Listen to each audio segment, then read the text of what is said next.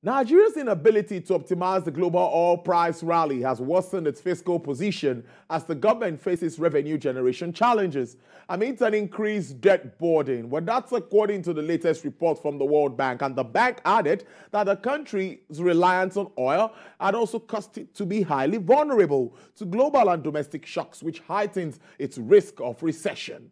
According to the World Bank's Nigeria Development Updates for December 2022, an economic memorandum between 2020 and 2021, when oil prices were much lower, the government missed an opportunity to address one of the primary sources of fiscal vulnerability by choosing to maintain the subsidy on fuel.